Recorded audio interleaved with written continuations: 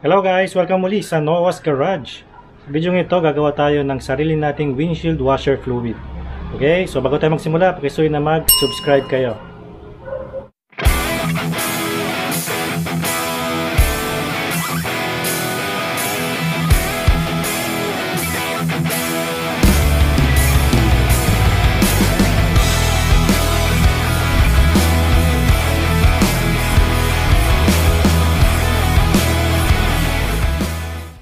Okay guys, so siguro naubusan na rin kayo ng uh, windshield washer fluid kasi tagulan ngayon, madalas sumulan at uh, lagi natin nagagamit yung uh, washer fluid natin.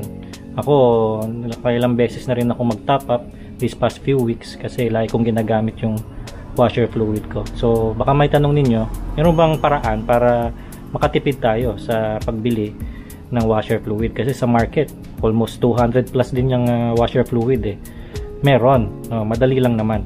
So, tututuro ko sa inyo kung paano ba gumawa ng sarili ninyong washer fluid para makatipid kayo at ganun din, sarili nyo pang sangkap ang gagamitin ninyo. So, safe yun, ano?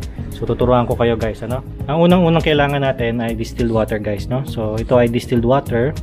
Huwag kayong gagamit ng mga basta-bastang mga tubig, lalo na yung galing sa gripo. Kasi, yun ay may mga residues guys no kapag tumagal kakaroon siya ng bubuo na residues. Yun yung pwedeng magbara sa inyong windshield washer fluid pump. Ganun din dun sa inyong outlet no? Dun sa sprayer ninyo magbabara yun.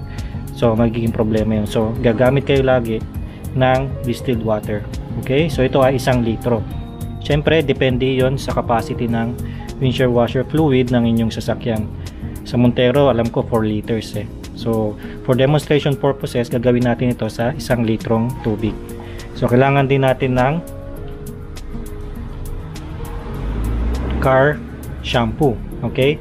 So, ito ay kulay blue. Kung nakikita nyo, kulay blue yan. So, pwede nyo gamitin. Yung iba ginagamit nila dishwashing soap. Pwede rin naman yon pero mas maganda ang gamitin niyo ay ang uh, car wash shampoo. Yung car shampoo. Bakit? bakit car shampoo ang dapat gamitin niyo kasi yung car shampoo dinisenyo yan sa kotse talaga.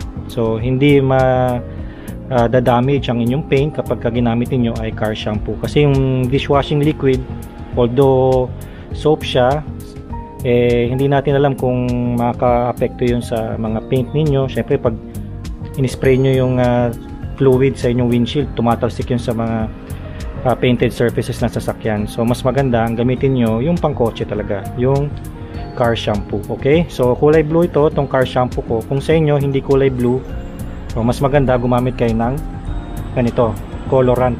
Okay? So ito ay FDNC blue colorant. Ginagamit ito sa mga cosmetics, sa shampoo ginagamit ito pero hindi ito ginagamit sa pagkain, okay? So, yung colorant para maging color blue ang ating windshield washer fluid. So ano ba ang kaigihan?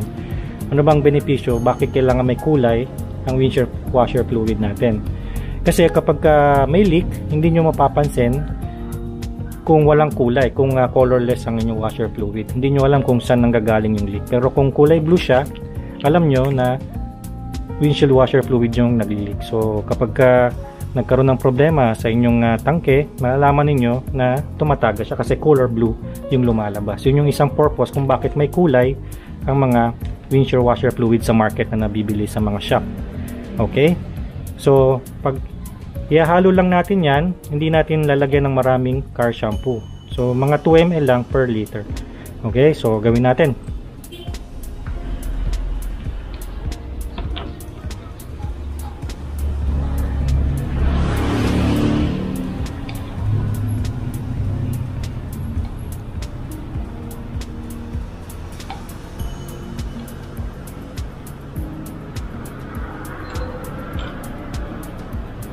So huwag niyong sasobrahan ng car shampoo guys no.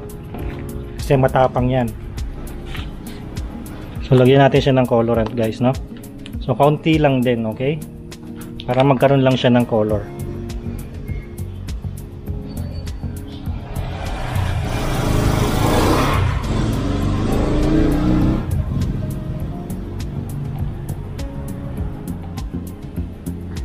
Tapos niyan, shake natin.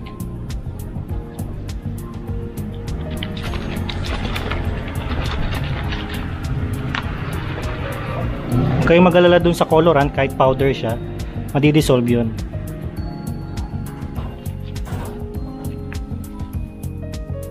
Ito na ang ating windshield washer fluid guys. So makita nyo, bumubula na siya. So kahit di nyo nalagyan ng uh, colorant yan, okay na yon. Basta bumubula siya at uh, car shampoo ang gagamitin nyo guys. Ano? So yung uh, colorant na ginamit ko, eh, na-dissolve naman siya pero may mga konting residue kaya ang ginawa ko eh sinala ko na lang. Okay? Pero kung ayaw nyo gumamit ng colorant, ang gamitin nyo lang distilled water at car shampoo. Okay? So, lagay natin.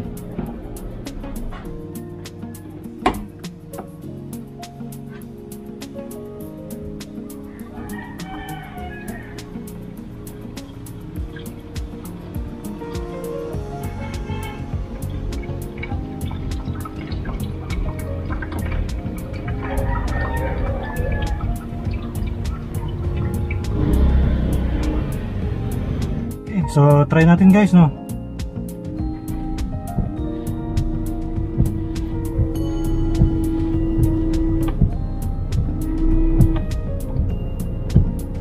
Ayos. Okay guys, no?